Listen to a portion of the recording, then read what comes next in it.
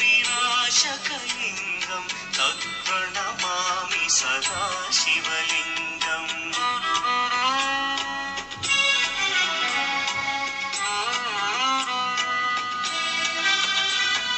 सर्वसुगन्धसुलेपितलिङ्गम् बुद्धिविवर्धनकारणलिङ्गं सिद्धसुगासुरबन्ध